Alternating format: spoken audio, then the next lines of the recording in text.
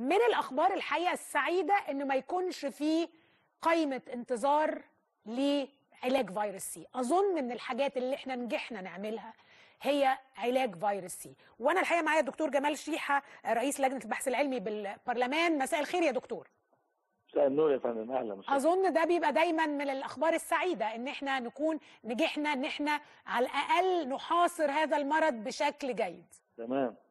إيه الاخبار اللي عندنا حول هذا المرض يا دكتور؟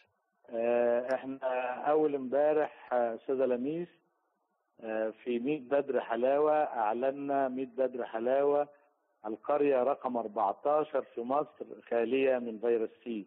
حضرتك تذكري ان إحنا احتفلنا مع حضرتك يوم 7 5 ب 10 قرى خالية من فيروس سي. اول. امبارح كنا بنحتفل بالقرية رقم 14 وكان الاحتفال في القرية نفسها آه، لأن 100 بدر حلاوة دي قرية ضخمة يمكن تصل إلى 40 ألف مواطن. كنت تشوف السعادة والبهجة في آه، عيون أهل القرية وهم عاملين الاحتفال إنه هذه القرية الضخمة لم يعد فيها أحد آه، عنده فيروس سي والناس كلها اتعالجت وخدت فرصة علاج.